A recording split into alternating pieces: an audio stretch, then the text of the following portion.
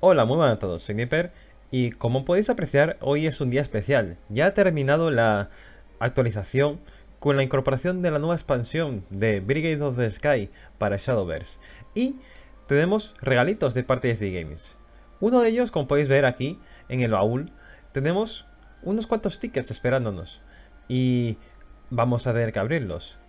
Además no son pocos precisamente, porque tenemos eh, de parte del equipo de The Games por la nueva expansión 10 y porque se alcanzó el millón trescientos mil seguidores entre las dos cuentas, la de Shadowverse y la de The Games, la del otro juego, la de Grand Blue, entonces nos dan otros 10 sobres. Por lo tanto tenemos todo el mundo 20 sobres para empezar esta nueva expansión, que es una expansión brutal. Así que voy a cobrarlos sin, sin más dilación. 20 sobres, wow. Y nos vamos a poner a abrir sobres como descosidos. Compremos packs. Qué emoción, tío. Da un break. No voy a abrir más sobres de ti. Y está Espinaria aquí como líder. Así que ya tenemos un target para conseguirlo. Espinaria, que será el líder que nos toque a partir de los sobres para Dimensional. Pero antes de nada, yo tengo una cosita por haber participado en la final del grupo A y haber ganado más de una partida. En este caso gané tres partidas, por lo tanto tengo derecho a un ticket eh, premium, que tiene una legendaria asegurada. Así que vamos a empezar primero con ella. Vamos allá. Que sí, que lo quiero. Tengo una legendaria asegurada aquí.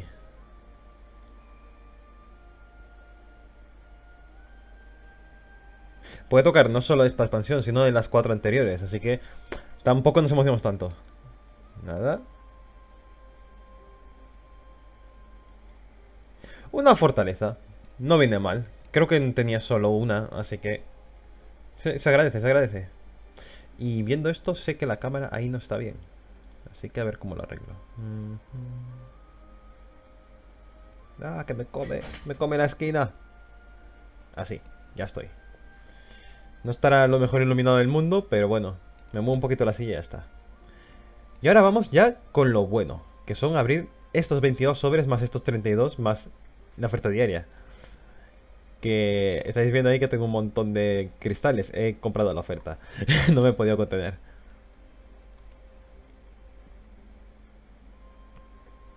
Qué bonito es el sobre.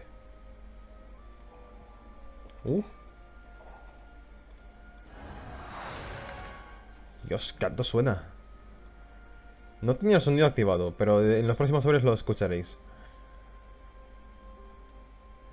Mira, ya tenemos la primera carta animada. Shiro. Uy, esta carta no me gusta nada. Un montón de cartas de dimensional, por cierto.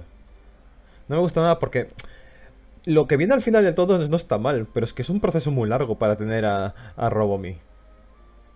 Pero mola un montón la carta animada. ¿Y Robomi? Es la, menos, la que menos mola. El, amuleto mola un montón animado. Primera carta animada. Y ahora ya vamos a por los sobres de verdad. 22 sobres. Estoy en la esquinita del escritorio para caber en la, en la cámara. Que suena... Suena fuertísimo.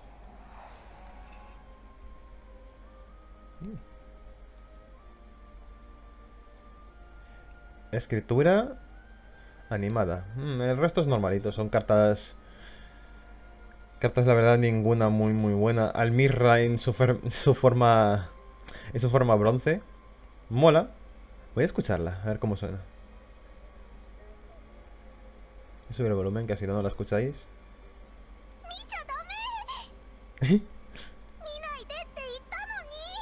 Ostras, qué buena.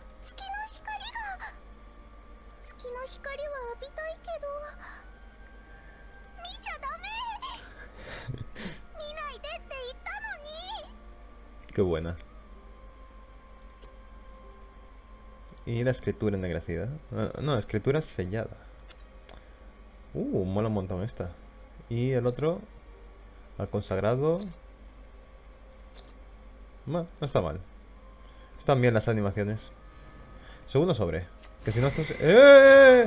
¡Eh! ¡Guerrero legendario animado! ¡Uh! Guerrero legendario animado. ¡Ole! ¿Qué me estás contando? Segundo sobre, una legendaria y está animada. Y además es de las muy buenas, que es neutral. Uh. La animación no es la, no es la gran cosa, pero bueno.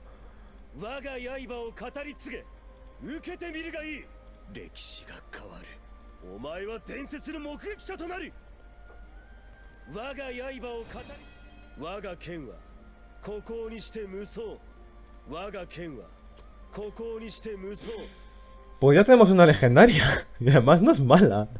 Este bicho, como le logres meter todas las habilidades estas, se vuelve un bichotron que además conserva las habilidades. Y aparte es un turno bastante decente, que va a costar miedo. Van a tener que quitarlo encima. Va a ser como única, pero en legendario. Un pararrayos muy, muy potente. Una carta dorada, además bastante buena. Este es el vídeo que acabo de subir ahora. El círculo místico. Que puede dar mucho que hablar. Para Rúnico de Rito de Tierra, esta carta tiene mucho que decir. Y el resto normalitas. Venga, waifus, waifus. Uf, animada, el búho. Madre mía. Y el gran comerciante. A mí me parece que esta carta va a decir muchas cosas. Porque te va a reinar la mano. Y esto para Espartaco viene, viene demasiado bien. Y tengo a Aliza. A ver cómo suena Aliza aquí.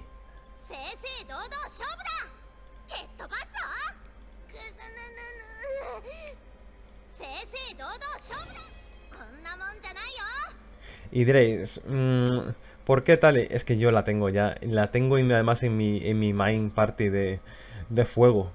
En el Gran Blue. Además la todas sus versiones. Tuve muchísima suerte. Nada por aquí. Ninguna carta importante. Si tal, este el sacerdote. Porque es un 1-1 que no, al evolucionar no gana estadísticas, pero mata algo. Esto me recuerda a la, a la monja del martillo. Bueno, no está mal. Una animada plateada y una animada bronce. Nada del otro mundo. A ver cómo es esta animada. A ver las quimeras. nada del otro mundo. Bueno, esta, esta mola un poco. Y este... Madre mía, esta, esta no es una carta apta para epilépticos. Venga, venga, que no paren las legendarias, que ya ha caído dos. Una trampa, pero bueno, han caído dos. Catalina, a ver cómo es Catalina la voz aquí. Y Rakan.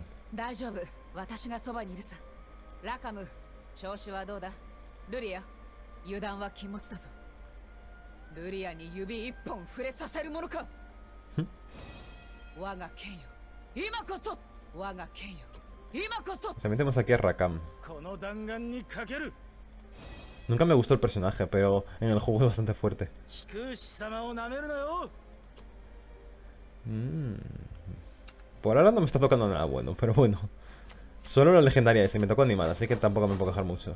Otras dos animadas. No me tocan waifus. Esta es la de los cristales. no está mal. Y la nigromante.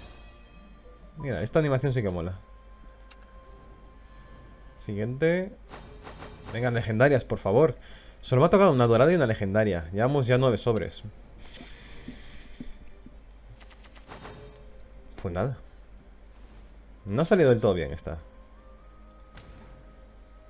El cómputo final ha sido bastante precario. El, líder este, dos... Eh, este no me fijé que me tocara. Parcelmus. Gol defensivo, gol ofensivo. Eh. Este es un poco... A mí no, me llama mucho el dimensional, así que... Vamos a por más. Tenemos como 50 y algo sobres. Dios. Que suena súper fuerte. Mira, mira, mira, mira, mira, mira. La purga de Temis. Sí, señor. De esta carta iba a querer segurísimo para Clerical. Exilia a todos los combatientes, aliados y enemigos. Me da igual, me da igual exiliarlos porque yo juego con amuletos cuando juego una purga de Temis. Y ya está. Esto para un mazo de amuletos es lo mejor que puedes echar a la cara. Y ahora mismo, como está el Palacio de Tenko on fire, pues imaginaros. Y la gente secreta esta, que a mí me, me gusta muchísimo, porque para Imperial Tienen la infiltración, que esta carta es la leche. Tenemos la Loli esta, que no está mal, pero esto... Esto para Espartaco y para un mazos agresivos de descargarte la mano es demasiado bueno.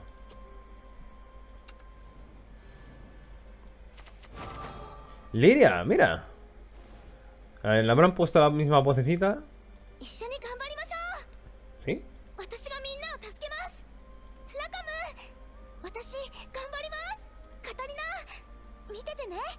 Tiene una frase para cada uno del, del juego, mola.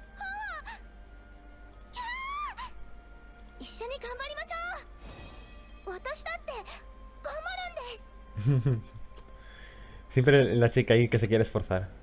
Esa carta va a dar bastante que hablar. Es neutral al fin y al cabo. Toda carta neutral. ¡Mira! Y Cagliostro. ¡Uf! Este es un sobre muy bueno, ¿eh? Esto está loquísimo por Catalina.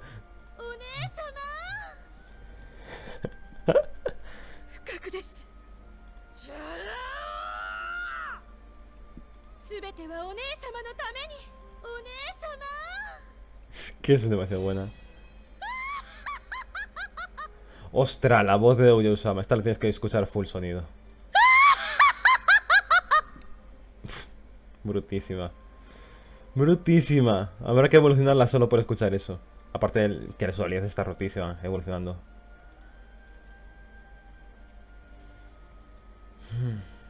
Hasta el comienzo del siguiente turno, tu líder no puede recibir daño.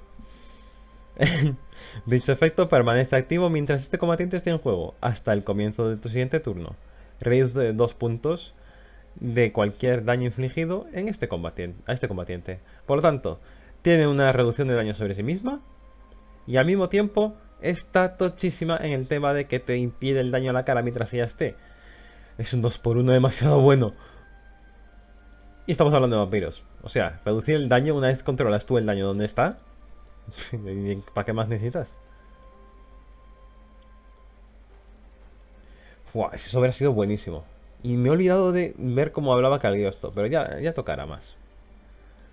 Esta, esta carta, mira, animada, la que tiene más cantidad de cartas. Y, es que la última no es mala, si no fuera porque costara una locura y cuesta un camino entero de sufrimiento conseguirla. Y el dragón este, dragón con la venenosa. Bueno, 1-3, golpe letal de guardia. Siempre cumple su función. ¿Cómo se ha animado? Cuatro brillos. Eh, y respira, respira. Retiro lo dicho, está bien animado. Nada por aquí. Mira, Charlota. Esto también está en el juego. la tengo en SR. Nunca me gustó su jugabilidad. Porque si sufre daño se vuelve bastante inútil. Y es bastante fácil recibir daño en, Gran Blue.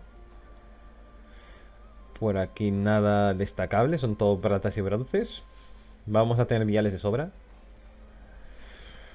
Ay, amigo. Venga. Llevamos ya 20 sobres. Otra liria. No está mal, dos lirials. Narmaya. A Narmaya la tengo que escuchar. Lo siento mucho, pero a Narmaya hay que escucharla. Voz a tope. Onesa, gambar kara ne. Mae. Gomen nasai. Onesa, gambar kara ne. Tachikirimashou. Nani mo kamo subete. Tachikirimashou. Nani mo kamo subete. Este personaje me ha salvado por completo muchísimas veces en el juego. Oye, y mira, Rakan animado. Pues mira, al personaje este, como es uno de los principales, lo han animado bien. Pero es que la dirección cautivante esta, que me parece que es un hechizo bastante decente para dimensional, eh, aún encima está bastante bien animado. Es que por coste 5 puedes liarla muy parda. Pero es plata. Quiero cosas caras. Mira, la sed está animada. Sed escarlata. Esta carta va a estar en todos los mazos de vampiros. Haces dos puntos de daño a tu líder, cosa que sigue la mecánica, y recuperas un punto de evolución. Por coste 3. Esto es equiparable a la carta de coste 4 que viene en nuestro esqueleto de Runico. Demasiadas facciones van a tener ahora recuperaciones de eso. Y el avatar de Vira. Tenemos dos cartas legendarias por ahora de las nuevas. Llevamos 20 sobres. No debería quejarme, pero quiero quejarme. Dios, qué alto suena el sobre. Le bajo el volumen y está ahora mismo como al 10%. Seguramente lo habéis oído y todo. Otra vez helada esta. Creo que la tengo hasta animada dos veces. Mm, vale. Mira, escalaréis, eh. Esta hizo un vídeo hoy.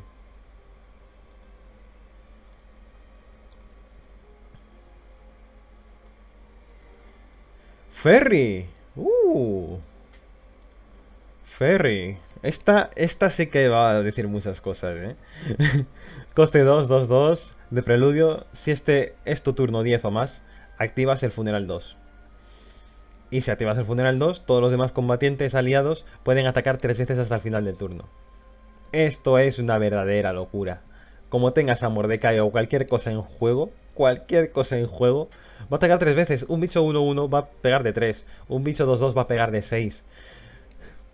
Ya no hablemos de otras cosas. Es que esto va a ser brutal. Esto va a ser brutísimo. Uf. Lo único que si ella se convierte en fantasmas, por ser un coste 2, eh, esos fantasmas no deberían pegar tres veces. Tendré que testearlo. Pero... A ver, a ver. Según tal y como está escrito, no, no deberían pegar los fantasmas en los que se convierte ella tres veces. Pero todo lo demás que ya esté en juego, que vale, solo vas a tener otros dos bichos porque tienes que tener dos huecos para hacer el funeral. Pero... Mm, va a dar bastante que hablar, eh. Sinceramente. A ver cómo habla. Volumen.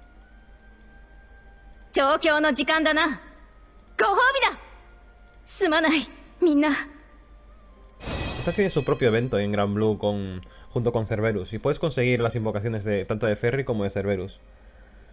Son bastante complicadas esas, esas O al menos yo no tengo el nivel suficiente como para poder hacerlo. Voy a poner en silencio el, volumen, el móvil, que si no, no va a parar de sonar todo el maldito rato, como está haciendo esto ahora.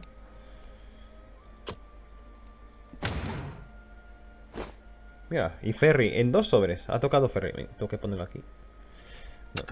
es muy raro tener la cámara ahí en una esquina. Vamos a por más sobres, que tengo aquí 32 más. Te voy a tres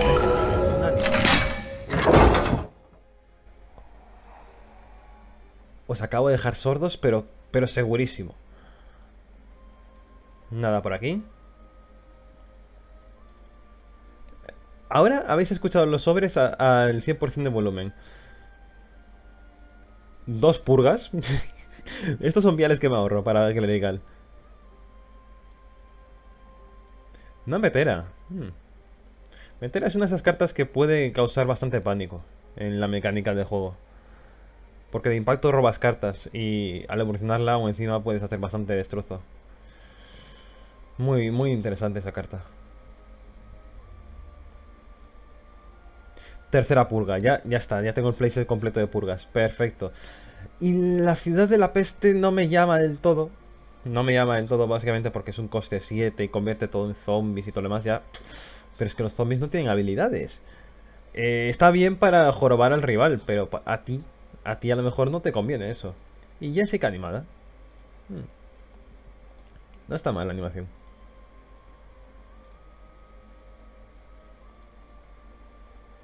Mm, segunda Narvaya. Perfecto. Es que Narvaya... Destruye un combatiente enemigo. Si venganza se ha activado, inflige daño... Si, venganza no se ha activado, Inflige daño a tu líder hasta dejarte a 10, o sea, ponerte en venganza. Pero es que de serie al evolucionar ya mata a un bicho y gana estadísticas completas en ataque y en defensa. Eso es brutal, brutal. Y además tiene golpe letal. Es que, ¿qué tiene nada malo? No tiene nada malo esta niña. Me encanta. Está demasiado bien hecha. Te consume un punto de evolución, pero es que acabamos de ver un hechizo que te da evoluciones haciéndote daño. Tranquilamente puedes tirarte el hechizo y después hacer esto, porque te va a dejar 10 vidas. Es como hacerte los daños antes de tirar una Elfagor antes.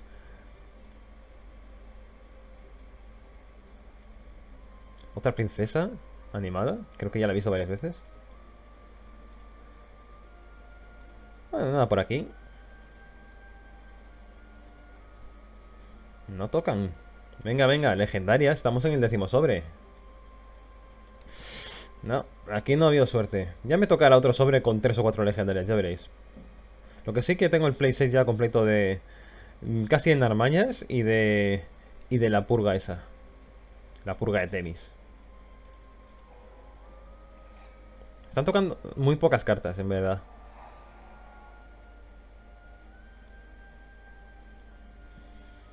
Otra princesa animada. Santuario del dragón. Dios, otra carta de anti-apilepsia. ¿Y remolino? Y esta no la tenía animada. Creo que no la tenía. Mira los espíritus animados como volan.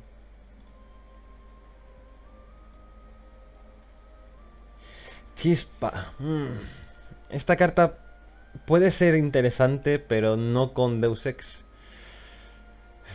Pero ya os digo, yo no soy muy ducho en, en dimensional, así que seguramente algo se me escapa. Otro Shiro animado. Si me dais a Liz animada, pues sí. Pero Shiro... Mira, esclavizador de dragones. Esta no está nada mal. Por coste 4, un 3-3 y te agrega un aliento abrasador. Y al evolucionar te, agrega un disparo centellante. Aliento abrasador y la brutalidad está, disparo centellante. E- exilas un combatiente o amuleto. Y todo eso con un, un combatiente. Que más o menos está bastante bien pagado porque te da un aliento ya de serie. Esto, esto es bastante fuerte. Sobre todo por el tema de que puedes exiliar amuletos. Que es lo más problemático siempre. Pero quiero legendarias. Nada. Mira, animada esta. Uf, esta animación mola muchísimo. Fejak. Y la mano diabólica que... Es que cada vez se lo ocurra más. Esto es una carta bronce. mm, Una carta bronce que casi nadie va a ver, en verdad. Y está muy bien animada. Bien pueden hacerlo así con todas. Otra agente secreta. Y el antiguo soldado mecánico este yo creo que va a ser muy importante. Porque por coste 2 son 1-4. Y este combatiente tiene guardia cuando tú... Cuando un combatiente artefacto aliado entre en juego. O sea, lo juegas a él y después juegas otro artefacto y ya está. Ya tienes un 1-4. Sin requerimientos de, de tener bien eh, la otra mecánica. La de resonancia. Otro... Dos doradas que ya tengo. Mira que hay variedad. Este lo tengo en, en el Gran Bulo, pero nunca me gustó. Mm, y esta animada. Bueno. Que quiero legendarias, amigo mío. Ya llevamos 20 sobres sin legendaria, ¿eh? Segunda Ferry. Vale, vamos a tener el playset entero de Ferry. ¿Esto me está diciendo que juegue ni- Nigromante? Y otra purga. Oh, ya tengo cuatro. Uf. Quiero más doradas de otro tipo. Por ejemplo, las de Rúnico, que están todas muy bien. No me hace caso. Uh. El Liche, el zombie. ¿Cómo mola esta carta animada? Wow. Pues nada aquí. Otra ferry. Bueno, nada no puedo decirlo. Me ha tocado una legendaria, pero... Bien podía ser una de las que no tengo. Aunque en verdad lo más rentable es tener todas iguales. Eh, en esta apertura. Porque más o menos te fue focalizar en una. Si no tienes que comprar siempre las otras dos del playset. Nada por aquí.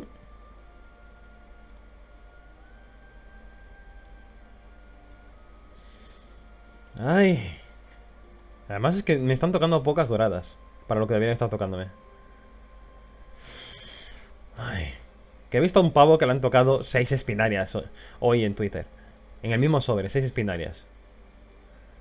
No la líder, me refiero, de la expansión anterior. Mm. Todo platas y bronces.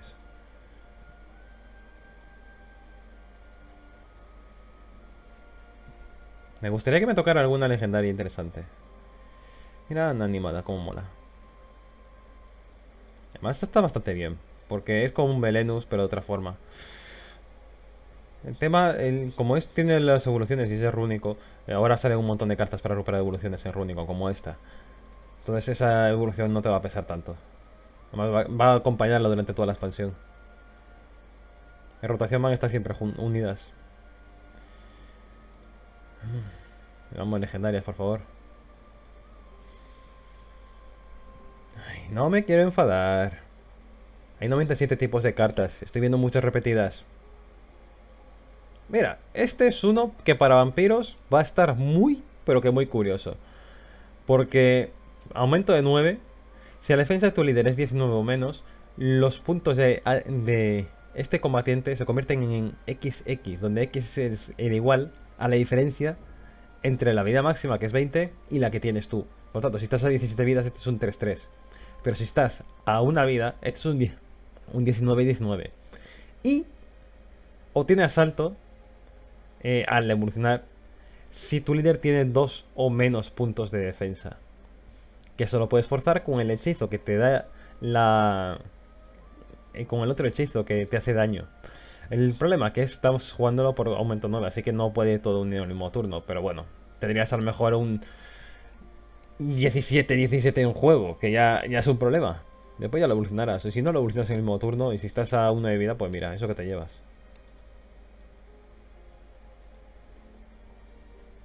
Nada por aquí. No me ha tocado ninguna. No me gusta esto, eh.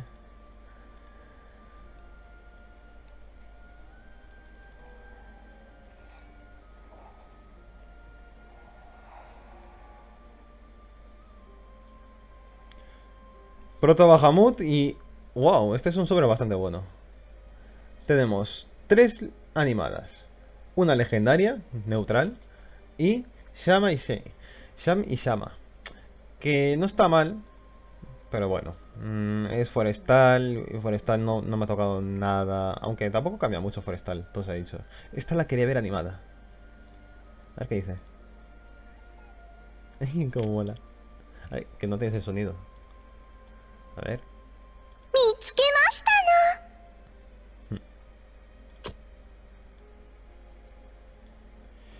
Y Proto Bahamut, que jugándolo con atajo es muy bueno, pero jugándolo como combatente también.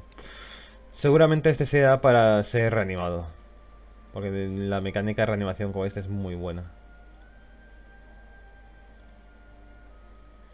El mercenario este, que a mí me parece bastante bueno. Hay, he, visto a gente que discrepaba de lo bueno que es este. Pero a mí me parece muy muy bueno. Porque por coste 5 estás destruyendo un combatiente y te queda un 1-1 en la mesa. Y es un soldado que siempre se puede bufar. Y aparte es un 1-1 que lo puedes jugar. Y mira, la gran estocada animada. Hmm. Otra reverberación de esas raras. Y el tontaco este. Está enamorado del fantasma. en la historia. Siempre se está molestando con... Mi fantasma, mi fantasma. Y nada por acá. Otro Lowain. Bueno, el cómputo final no ha estado mal en cuestión de legendarias. Podría haberme tocado muchas más, la verdad. Pero vamos a ver. En cartas. Y... Vamos a ver. Brigade. Mira, ya dos ringlones. Me acuerdo que yo empecé aquí, en Darkness. Solo habían estas, estos cuatro slots. A ver. Mm, vamos a ver. Legendarias me han tocado muy poquitas, pero bueno. Tengo al menos dos copias de Ferry y eso me ahorra si me quiero comprar mucha cosa de Ferry. El guerrero legendario este que para neutral está bastante bien porque te, da, te abre a cualquier cosa y también tengo un Bahamut, por lo tanto tengo cositas de neutral que siempre se pueden utilizar en muchas otras cosas. Tengo a Vira, una copia, que está, haría falta tener parias para, para poder robártela. Y Ferry, que Ferry no, no, va a estar nada mal en un mazo en el que tengas bichos interesantes, como por ejemplo la otra legendaria de Nigromante, que sería el Mordecai. Y ya si hablamos de eh, Nigromante en cuestión de ilimitado, pues tiene mucha más cabida porque tienes a, tanto a la Liza Oscura como al Mordecai antiguo, muchas cosas así. Hmm. Darle tres, tres, veces a la cara a los otros Mordecai tiene que ser la leche. Y a ver, vamos a ver las cartas doradas. Que tengo cuatro. cuatro de la purga de Temis. Mm, dos Narmayas. Dos Lilials. Estoy mirando lo más destacado. La espada del serafín esta no está nada mal. Porque destruyes un combate en tu amuleto por, que tenga coste 2 o menos por coste 2. Y por coste 6 destruyes lo mismo. Cuesta uno más de lo que debería costar. Pero es que también te abre la opción de que sean ambos. Y te abre la opción de que puedas jugarlo antes para cosas más pequeñas. Mmm 3 meteras, tengo el playset completo. Y de lo demás un poquito de cada, la verdad. De 4 temis no estaba mal. Pero bueno, nos podía haber tocado cositas muchísimo mejores, como por ejemplo el... los caballeros dracónicos. Este es, va a ganar mucho que hablar. Esta no está nada mal para ser dracónico. 5-5 por coste 5 y con furia hace cositas. El Berserker este... Uf, o tiene última voluntad y invoca a un Berserker revivido, que es él mismo. Y de aumento 5 o tiene última voluntad inflige 3 puntos de daño a un combatiente de al azar. Es como un mini, pero mini mini Mordecai. Por coste 3. En ese caso es muy bueno, es una obtención consecutiva para siempre de, de sombras. Y Lorena, una de clerical que te da, te da muchísimas cosas. El agua bendita de Lorena y esas cosas. Esta es muy polivalente. Y esta en Tenko va a ser bastante necesaria. El resto tengo un poquito de cada, la verdad. No, no me puedo quejar. Tengo variedad al menos. Y el resto pues ya, ya veis un montón de 7 de aquí, 8 de acá. Y nada, hasta aquí sería el vídeo de hoy. Espero que os haya gustado mi apertura de sobres. Y ya cuando vaya creándome mazos os lo iré haciendo saber. Eh, ya tengo algo en mente, pero tampoco mucha cosa destacable. Y otra cosa, tenemos muchas cosas que se han aplicado en este mismo parche. No solo la apertura de sobres, sino también tenemos eh, eventos, como sería el evento de colaboración. Tenemos un montón de misiones ahora mismo que mm, os va a sorprender la cantidad de misiones que vamos a tener porque tenemos aquí todas estas misiones que a mí me aparecen esto las moneditas, porque yo ya las hice en el año pasado en la primera colaboración que tuvieron ellos con Gran Blue, que te daban fundas y avatares eh, con eh, temática de cada una de las facciones y después una generalizada. Ahora se, ha incorporado dimensional, por lo tanto tengo esta misión para conseguir la Gran Blue Orchid. O sea, Orchid, pero con el dibujo que tiene del artista de Gran Blue. Y todo lo demás son un montón de monedas, así que cada vez que cumpla estas misiones pues voy a tener para abrir sobres. Y esto, fijaros en esto hay opciones. Eh, todos los días vais a poder jugar una partida privada hasta el final. Eso sí, tenéis que jugar hasta el final, no vale rendirse. Eh, con personas diferentes. Y cada vez que la completéis, entraréis en el sorteo de 500.000 rupias. Hasta 500.000 rupias. Puede haber premios desde 50.000 hasta 500.000. Aparte de esto, tenéis también de que por completarla simplemente os dan un sobre. Así que retar a toda la gente que podáis en partidas privadas porque tenéis sobre asegurado y posibilidad de entrar en una lotería. También se han aplicado algunas cosas, como sería por ejemplo, ahora os lo voy a leer, eh, se han aplicado el tema de nerfeos, equilibrios del, juego. Que han sido, por ejemplo, Azeridwen, que os lo voy a mostrar ahora, habréis notado que tiene un pequeño cambio. A ver. Nigromante.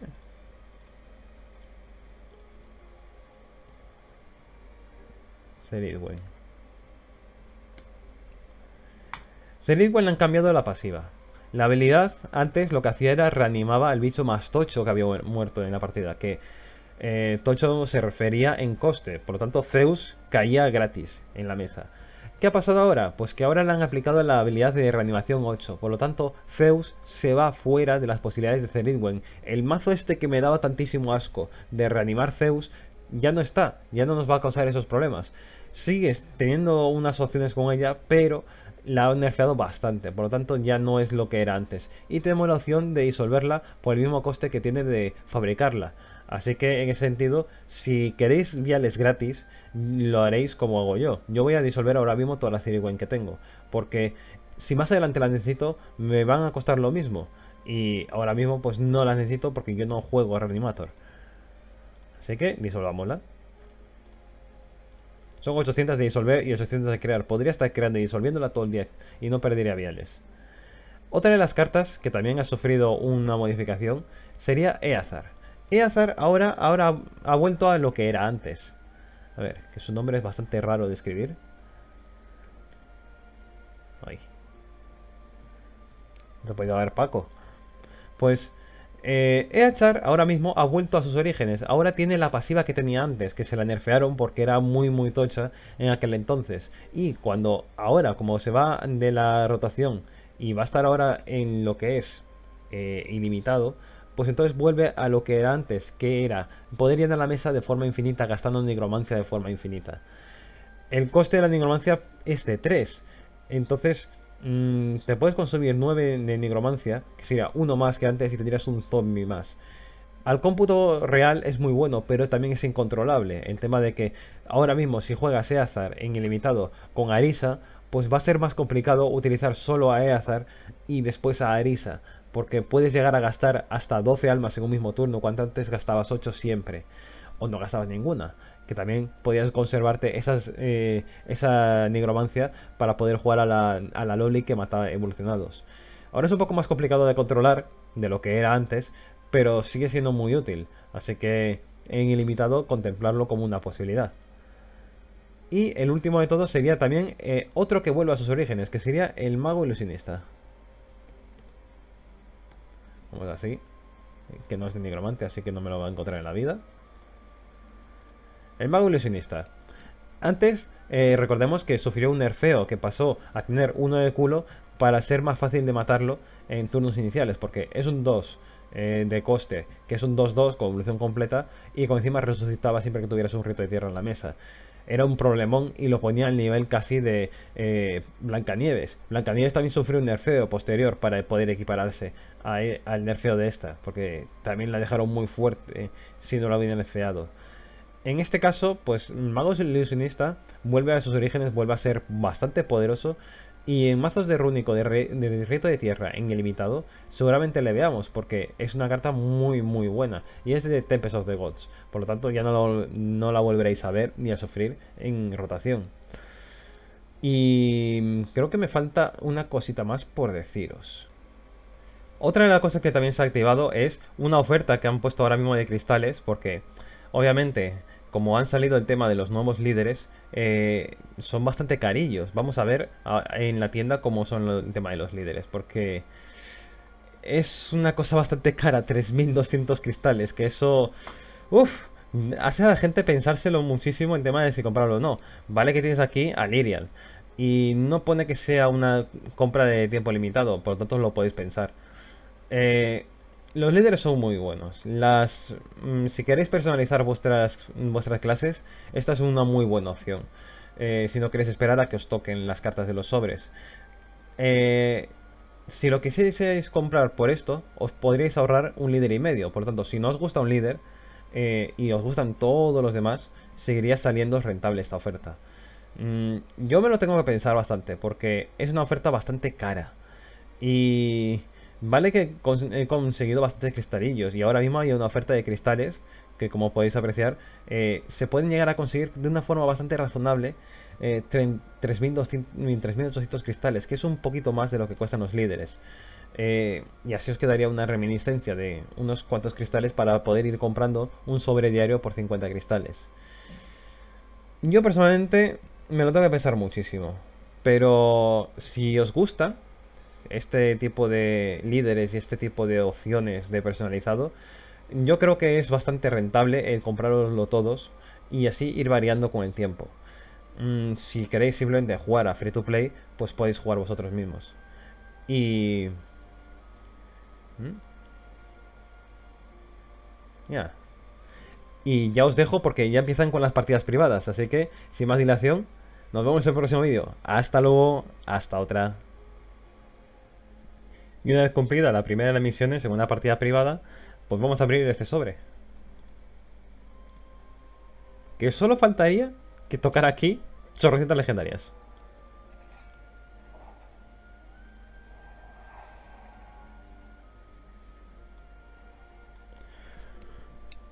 No me toca un chorrocientas legendarias, pero sí que me toca una... que siempre me va a costar decir su nombre. Es Kat Shaka. Creo que lo he dicho bien. Esta Loli, que es una waifu del Gran Blue, y toca animada. Mola. ¿No escucháis la voz que está abajo?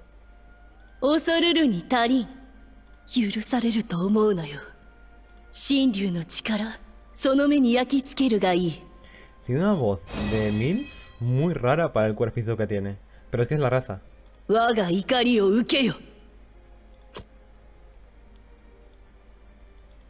Y ahora sí que sí, en el próximo vídeo nos vemos. Hasta luego, hasta otra, que tengo muchos vídeos que encodear, que aún me quedan muchas clases por explicar. Hasta ahora.